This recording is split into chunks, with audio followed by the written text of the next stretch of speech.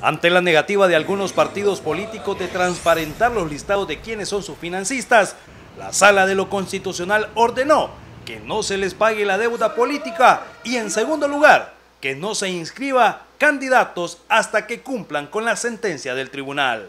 Esperamos que en primer lugar la Asamblea retome eh, el proceso de reforma a la ley de partidos y que elimine eh, las en las disposiciones de la ley eh, aquellos aspectos que tienen que ver con la autorización de los donantes para revelar la información financiera de los partidos.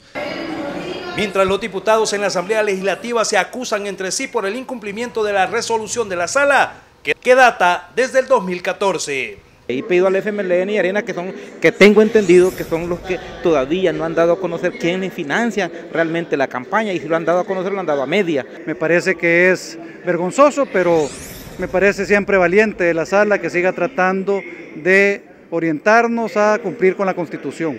Estos son oh, lodos de otros polvos que están siguiendo una agenda que es partidista.